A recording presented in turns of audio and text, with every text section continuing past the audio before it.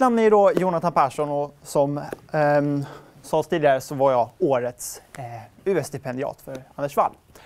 Eh, och jag har då utvecklat en ny avsaltningsteknik och bygger en fullskalig pilotanläggning i Halmstad som jag ska berätta mer om senare. Men varför gör jag detta då?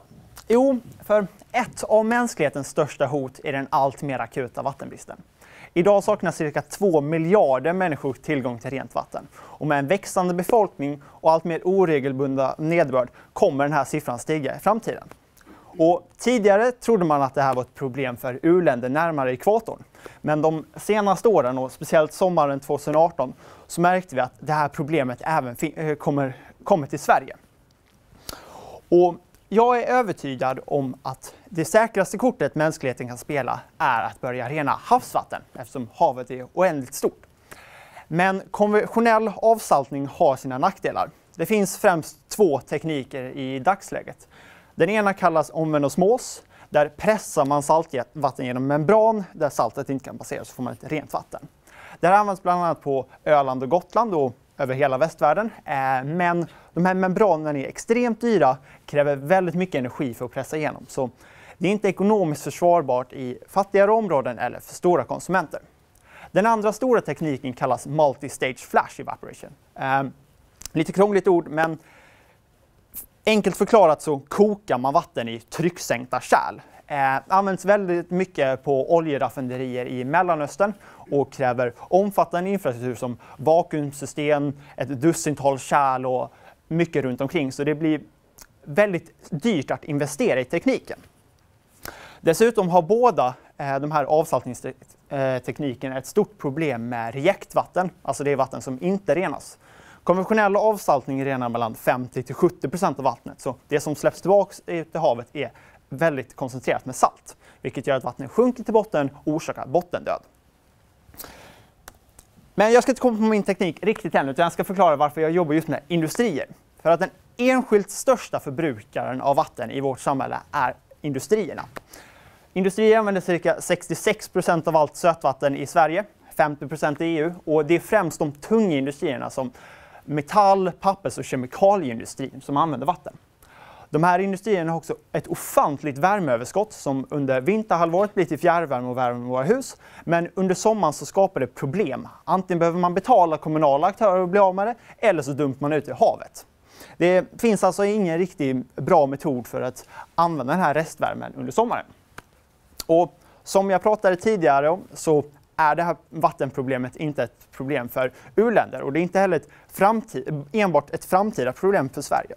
För idag så behöver pappersbruk på östkusten sänka sin produktion. Metallfabriker i Halmstad där jag kommer ifrån får hot från kommunen att om det blir en sommar som 2017 så kanske vi stänger kranen. Ni, ni kan inte äh, äh, arbeta under när vi har för dåliga vattenförhållanden. Cementa på Gotland hotar att hela deras anläggning kommer stängas ner om de inte får nya miljötillstånd. Så problemet är inte för framtiden, det är faktiskt här och nu. Vi måste göra någonting åt det. Men trots att situationen är så allvarlig så har vatten nästan inget värde i Sverige.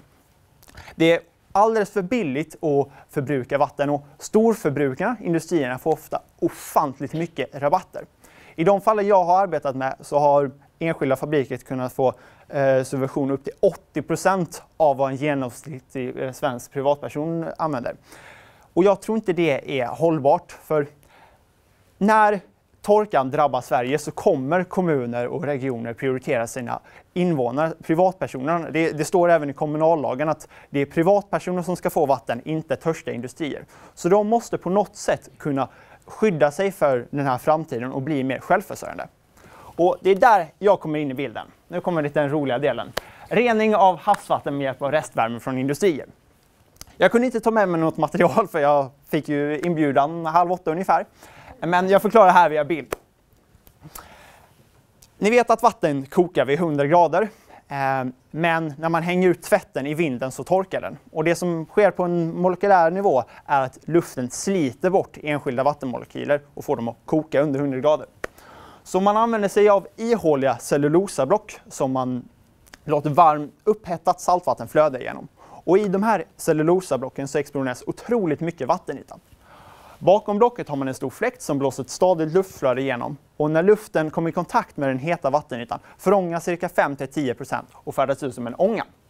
Den här ångan kyler man sedan ner på kalla havsvattenledningar där man kan ta tillvara på ett destillerat vatten som håller en betydligt högre renhetsgrad än kommunalt kranvatten och industrier kan använda direkt in i sina processer.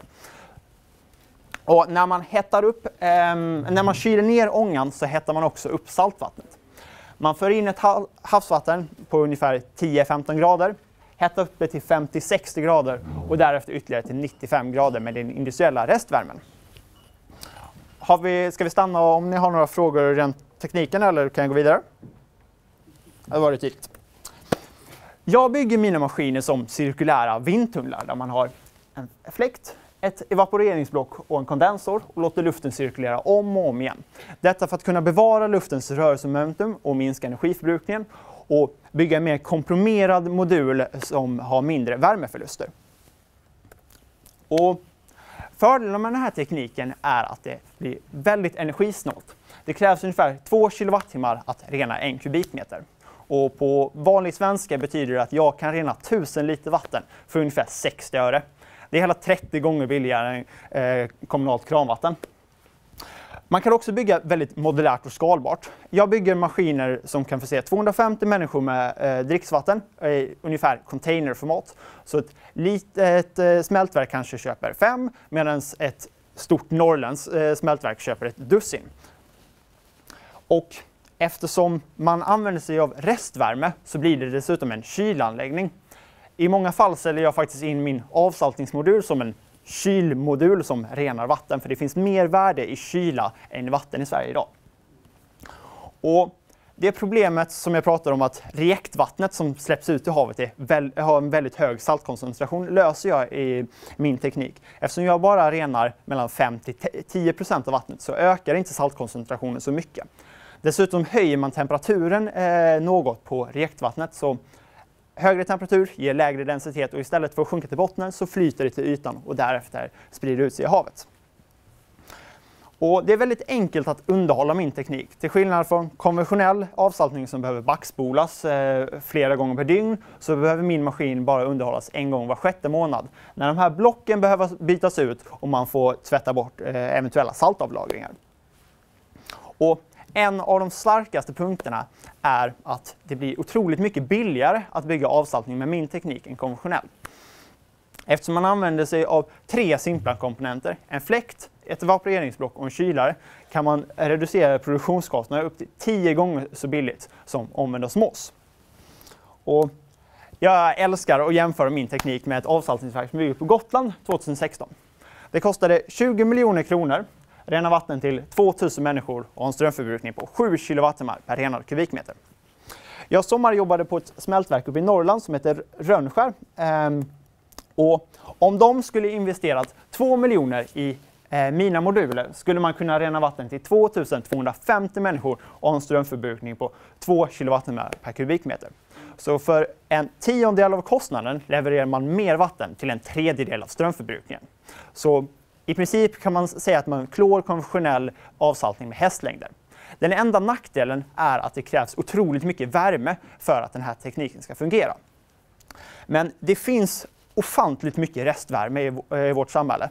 Det finns uppskattningar om att cirka 50% av all den energi som vi använder förloras i just restvärme. Och de flesta fabriker är just belägna vid kustnära områden för att ha tillgång till kylvatten och bättre transportmöjligheter via hamnar.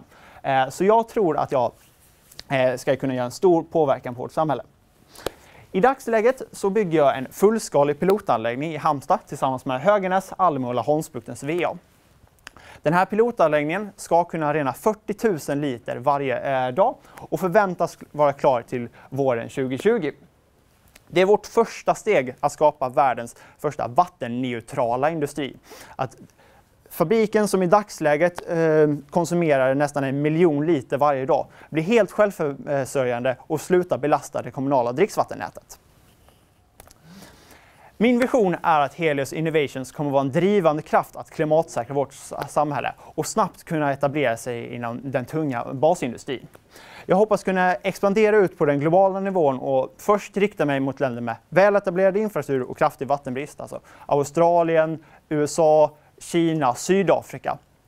Och därefter ta ut en royalty på allt vatten som produceras eh, beroende på de lokala vattenpriserna. Så jag tar ut en avgift på 20% av det lokala vattenpriset. Industrierna sänker sina vattenkostnader med 80% Samhället får mer eh, vatten till sina invånare. Alla blir glada och jag tar ut en eh, liten vinst. Den här vinsten eh, hoppas jag senare kunna finansiera soldrivna avsaltningsanläggningar i eh, ökenområden eh, med hjälp av en solfarm som driver en ångturbin och ångturbinens restvärme driver mina maskiner. Och på det här sättet så kommer jag nå ut, inte bara till de industrialiserade områdena, utan till miljontals människor i kustnära områden världen över. Och där har vi projektet i sin helhet. Men eh, jag blev också ombedd att berätta om hur jag startade. Som jag sa på mitt eh, tacktal eh, i mars, så, eller var det maj? Minns inte. Ehm, så fick jag den här, här idén eh, när jag låg i soffan eh, och tittade på en dokumentär om hur man byggde växthus i ökenområden. Ett norskt projekt som heter Sahara Forest Project, det är jättespännande så ni får gärna läsa mer om det. Men där använder man sig just av de här ihåliga cellulosablocken eh, tillsammans med kallt havsvatten för att befukta och kyla ner växthuset så grödorna kunde växa. På natten samlade man in fukten och sen bevattnade växterna. Och det var när jag såg de här blocken i kombination på hur de eh, bevattnade växterna som jag fick en snilleblixt och tänkte, hmm, vad händer om man använder sådana här cellulosablock tillsammans med hett saltvatten och istället för att fokusera på kyla och att då värma och befukta luft så mycket som möjligt. Jag arbetade några månader teoretiskt eh, och kom till slut fram på att jag hade en jäkligt bra avsaltningsteknik. Som, precis som de gjorde på dokumentären så hade jag drömmen om att använda just solvärme och ökenhetta men när jag skulle börja mitt UF-företag i Halmstad så fanns det ingen öken. Eh, så jag fick vända mig mot industrin istället. Och för två år sedan, nästan tre, så grundade jag mitt UF-företag Helios Innovations och beslutade på om jag ska bevisa att den här tekniken fungerar så måste jag ha en första prototyp som gör det på, eh, kan rena vatten på riktigt. Så mitt uppdrag var att designa, konstruera och testa av en liten eh, prototyp. Eh, och I mm, mars 2018 eh, så hade jag den klar. Jag hade byggt en eh, liten prototyp som kunde rena 700 liter per dygn eh, vid maxkapacitet i skolans eh, lokaler. Och Tack vare den här eh, prototypen så fick jag komma till SM och tävla i Ung Företagsamhet. Och det var väl startskottet av mig som en tävlings... eller att tävla med inom företagstermer. Jag var, kom tvåa i årets hållbara UF-företag och årets innovations-UF-företag. Eh, De som vann årets hållbara UF-företag gjorde en bananglass, eh, så jag var lite besviken att förlora mot dem. Ehm, men, men, man, man, kunde inte överklaga. Ehm, så arg som jag var så satt jag upp till klockan fyra på natten, googlade upp var enda eh, tung industri i södra Sverige och fick på kroken Höganäs. En månad senare så var jag på deras huvudkontor och de investerade 200 000 i mitt pilotprojekt. Så det var kanske bra att jag förlorade mot den här bananglassen. Sen dess så har jag tävlat ganska mycket och det har gått bättre i vinstsammanhang. Ehm, sen jag fick ta emot stipendiet i våras så har jag vunnit ett halvdussin tävlingar och dratt, över, eh, dratt in över 150 000 i bara vinstpengar och fått ett otroligt bra nätverk där jag kan arbeta vidare med projektet. Och jag tog studenten i våras och arbetar nu heltid med mitt projekt eh, på Ideon Science Park i Lund. Där får jag hjälp från både inkubatormiljöerna och eh, Lunds universitet som försöker få mig att färdigställa den här pilotanläggningen så att vi äntligen kan testa av den i industriell skala. För det är, det är det som fattas för att vi ska kunna utveckla en kommersiell produkt som vi ska kunna få ut på den globala marknaden och rena vatten till miljontals människor. Och nu står jag här idag. Så det var nog allt.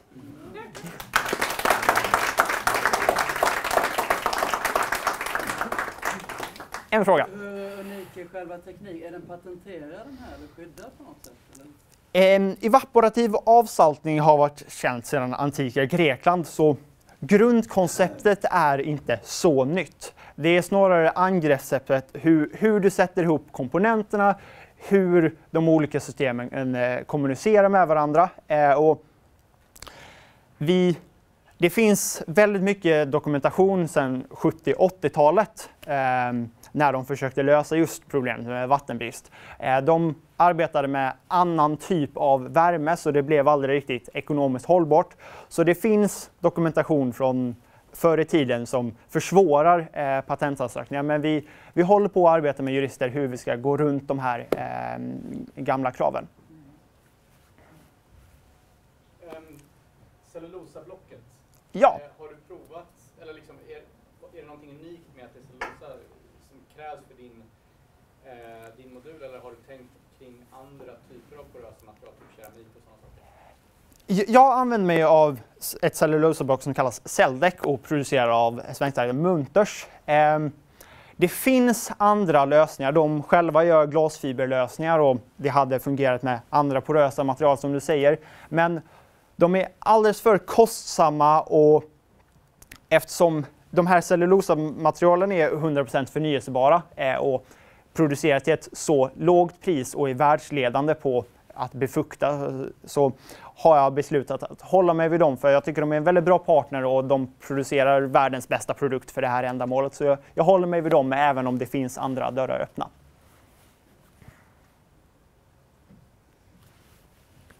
Dricka vatten, H2O, ger ju oss människor salter och mineraler. Stämmer bra. Utan dem klarar vi inte att leva. Nej, eh, mitt vatten blir så pass rent att det är giftigt att dricka för människor. För man avjoniserar vattnet och utan eh, närsalter så eh, störs jonbalansen i hjärnan och man kommer dö efter ett tag. Så nej, man kan inte dricka mitt, mitt vatten. Men det är så med all avsaltning. För att skilja bort saltet så behöver du också skilja bort närsalterna. Så vid all avsaltning så tillsätter du mineral och så blir det dricksvatten. Jag arbetar istället mot industrierna som ofta eftertraktar just avjoniserat vatten. Så de köper in kommunalt kranvatten, avjoniserar det från närsalter och sen använder det. Med min teknik så kan de ta in havsvatten, rena det en gång och sen använda det. Eh, så jag renar inte vatten för dricksvattenbruk utan snarare för att spara dricksvatten till oss människor så industrin inte tar det. Men jag tänker det borde ju finnas en process för att, om vi tar omvänd osmos som ligger i många fastigheter idag, kustnära fastigheter som tar vattnet. Även på båtar så, så kör man ju omvänd osmos. Ja, man, man, man tillsätter närsalterna där. Eh, och visserligen, det hade gått att eh, sälja det till privatpersoner som just dricksvatten. Men dels kostar det pengar att tillsätta de här närsalterna och sen försvinner ett värde hos, som industrin ser hos det avjoniserade vattnet. Så jag tycker det är bättre att fokusera på industrin i ett första skede. Är du själv i företaget? Ja, jag är själv i bolaget även om jag har en väldigt kompetent grupp människor runt omkring mig. Ehm, men det är endast jag som arbetar helhjärtat med det här projektet. Eh, en av anledningarna till att jag flyttade till Lund var för att utvidga teamet och få med mig ingenjörsstudenter från eh, LTH och liknande. Eh, men det är fortfarande to-do moment. Liksom. Jag har inte hittat de, de personerna som jag vill ta in i teamet riktigt än. En följdfråga bara. Vill du ta in investerare? För det känns ju som att en sån här ja, affärsidé kräver ganska mycket kapital för att kunna... Det, det krävs väldigt mycket kapital. Eh, dock är jag inte intresserad av investerare i nuläget. Jag vill först kunna ha en fungerande pilot, eh, eh pilotanläggning och testa av det i industriell skala. Eh, sen arbetar jag väldigt mycket med eh, mina projektpartners, alltså kunderna, fabriken. Att de investerar för att testa tidiga versioner och sen så får de eh, ett rabatterat pris i framtiden. Så att sälja av ett sånt här tidigt skede är jag rädd att jag säljer av för mycket till ett för lågt pris. Så jag håller mig undan investerarna så långt det går men i framtiden kommer det kanske behövas. Vad är du mest orolig för? Vad kan gå åt helvete? Uff. Det, det finns mycket som kan gå åt helvete. Det...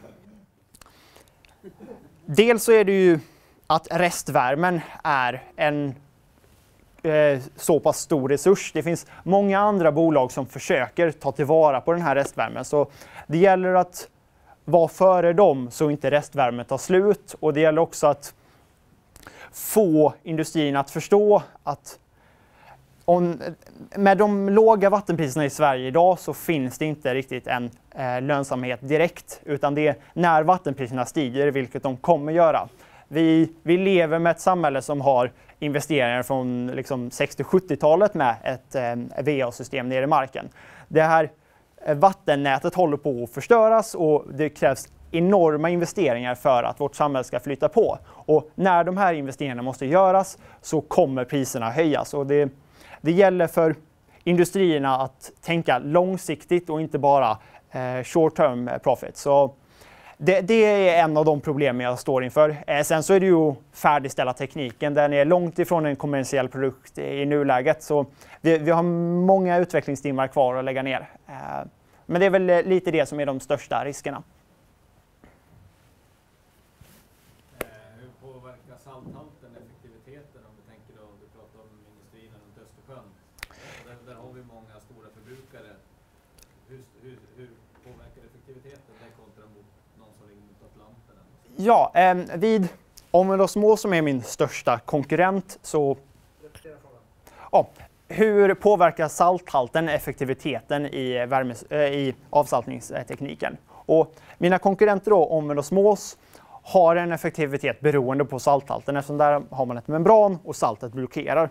I min teknik så förångar det vattnet. Så det spelar egentligen ingen stor roll eh, på vilken salthalt. Jag renar vatten lika billigt i Östersjön som jag gör i Persiska viken.